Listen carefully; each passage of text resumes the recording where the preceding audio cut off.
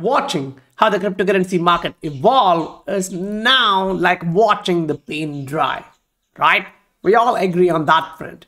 But if we look deeper, we get more information. If we look into what really matters, we can understand what is happening because the market right now is showing you signs, signals, and some of these signals are like, okay, I'm here to stay, I'm making a change, and it is happening for a reason. And this tweet from Ari kind of gives you the real idea of how things are moving. Now, don't misunderstand that 90% of 6 trillion market is being handled by ODL. It's actually representing, right? You actually can do that in that 40 market. So when you look towards the traction of XRP, it is there.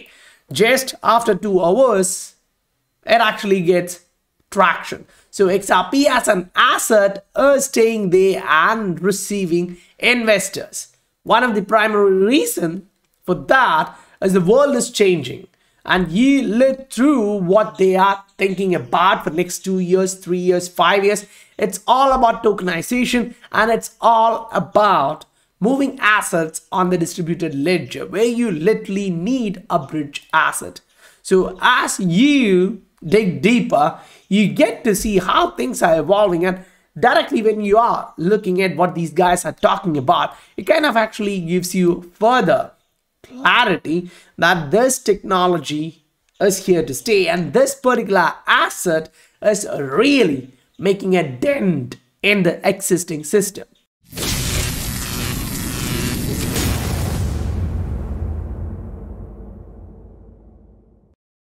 Welcome to the Scientific Investor family, where the normal retail guys learn how to become the next top 10 percentage. Now, if you are really thinking about becoming the next top 10 percentage or next top 1 percentage, that's thinking about success in life.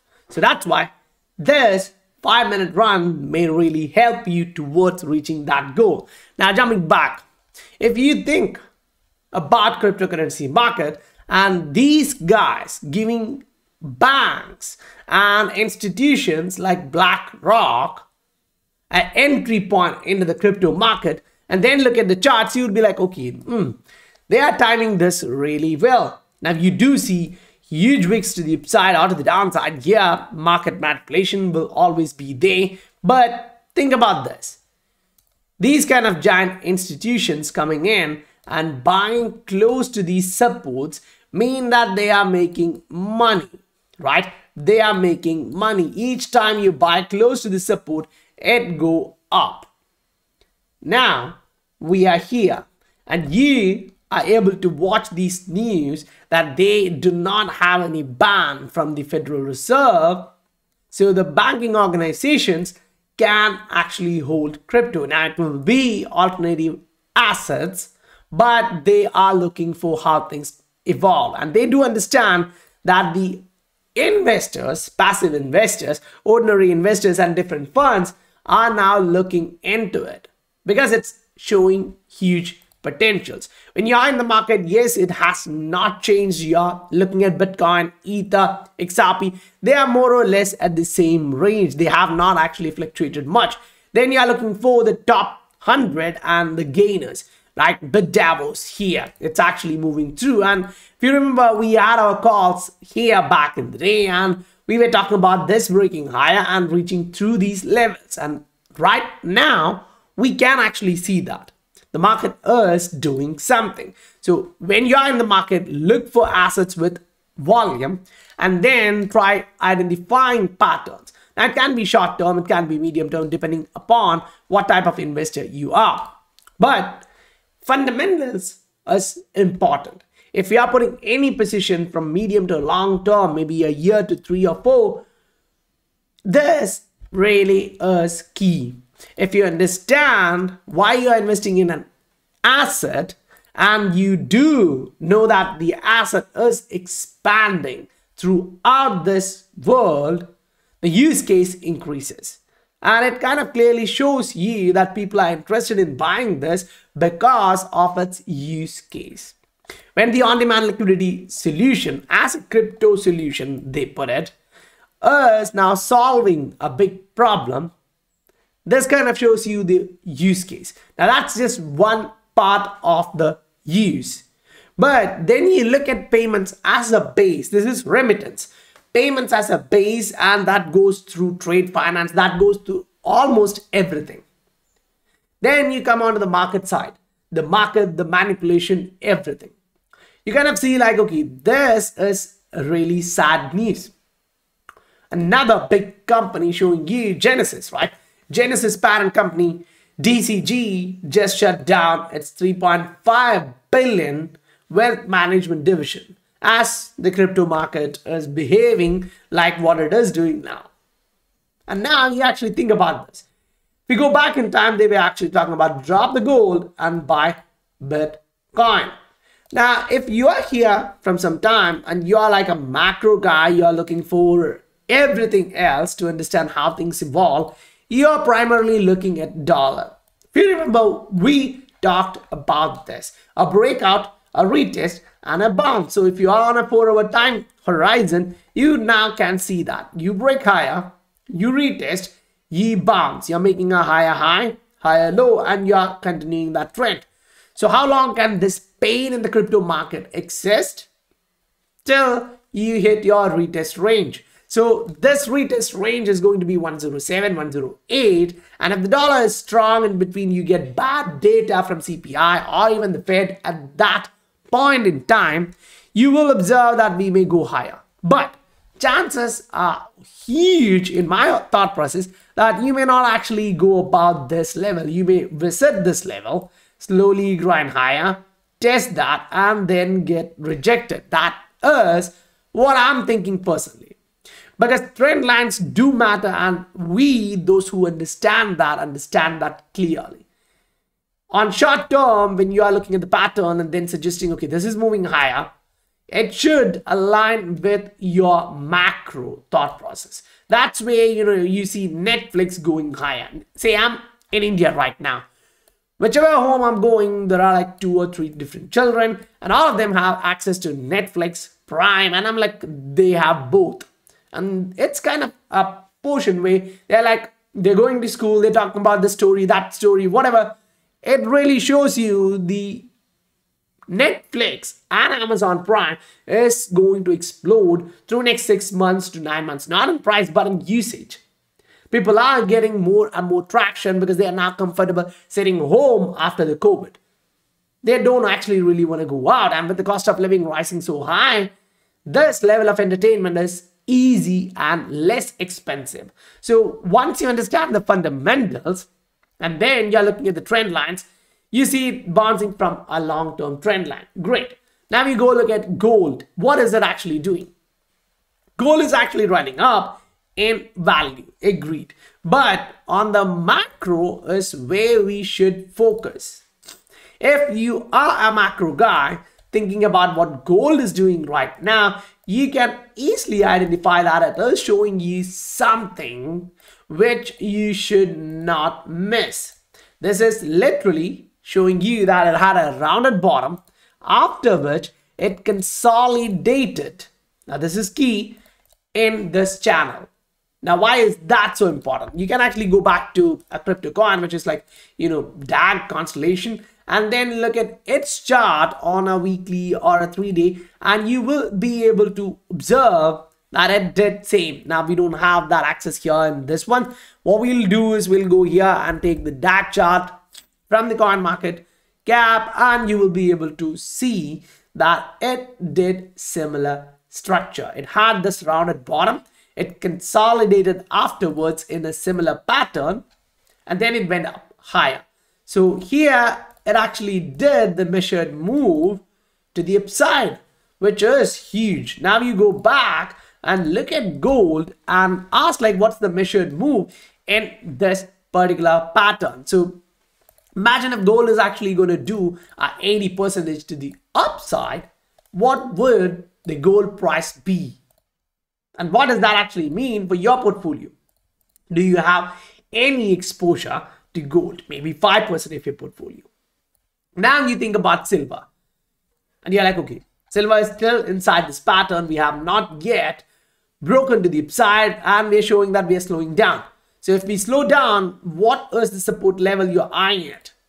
It's not that low, it's 22. And right now it's 23, so it's not much different. So if we happen to come down here to 22 and then bounce, break this one, that is like it's going to follow gold and that's just the starting point of something like this, which can be huge. Now, take these thought process of gold, silver, dollar and go to the stock market. Now we are still here in the stock market showing you we are retesting.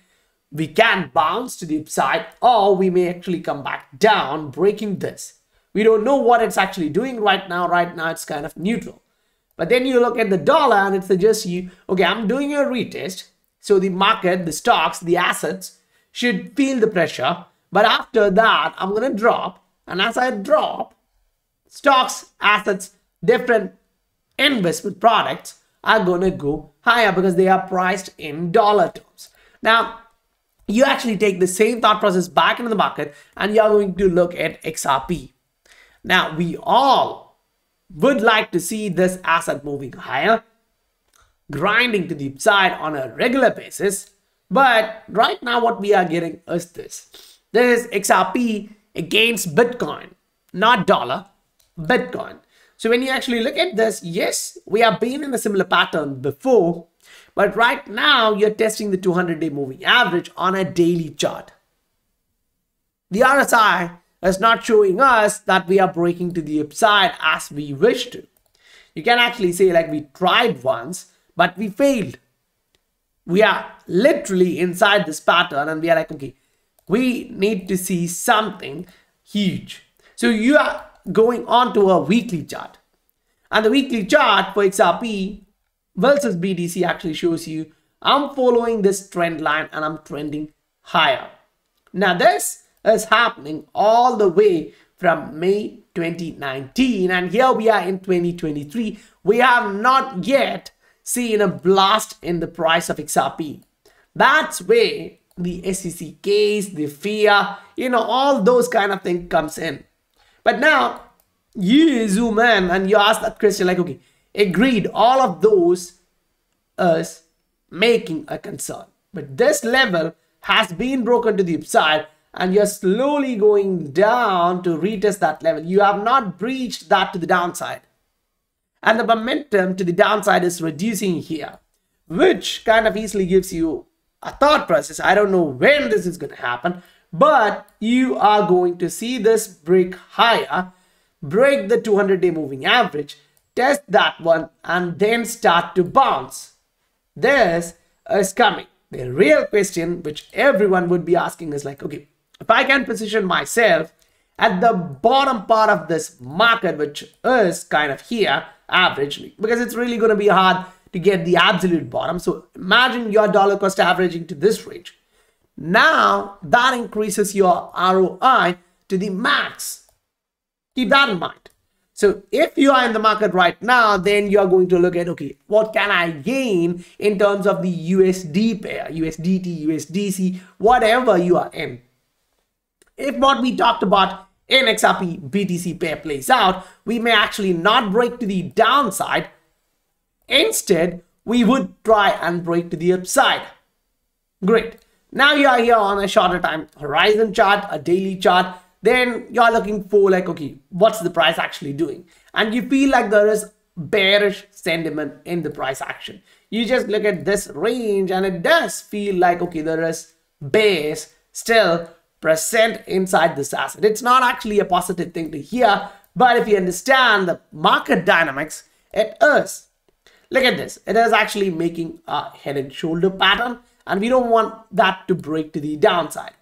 And if it actually does break, now you will have a 10 percentage move to the downside. So right now the price is 0.33. You may drop to 0.3. In some of the exchanges, we have already dropped to 0.29, wait that low and then went back up. So that is not going to be something new for a lot of us. So if there is something like that happening in the market, which actually gives you a long way to the downside, don't go into that panic mode.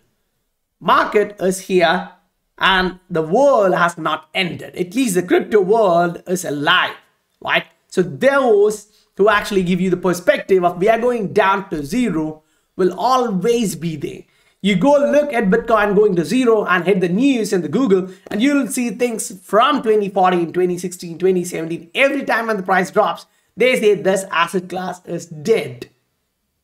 And then you see it coming back up, making all time highs, and giving returns to those who held on strongly which is the hardest part to do because of the patience and you need to keep your emotions down which is hard. I understand that. And that's why this channel five minutes a day or a week may actually help you. So guys if you received value for your time please do hit that like and subscribe button. I'll meet you guys on the next video. Bye for now